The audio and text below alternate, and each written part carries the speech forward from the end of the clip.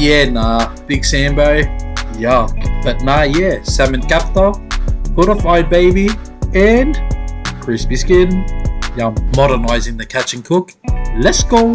Can't go past the old school bait runner.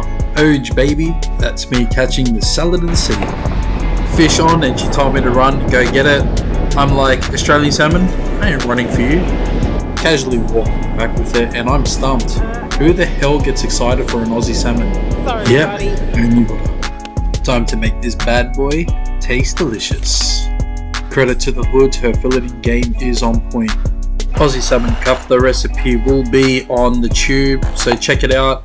Uh, but honestly, this was one of the best, if not tastiest, recipes she's ever done. An absolute flavor bomb. I'm not even kidding. Follow the Fishos Grill as we modernize the catch and cook. Laters.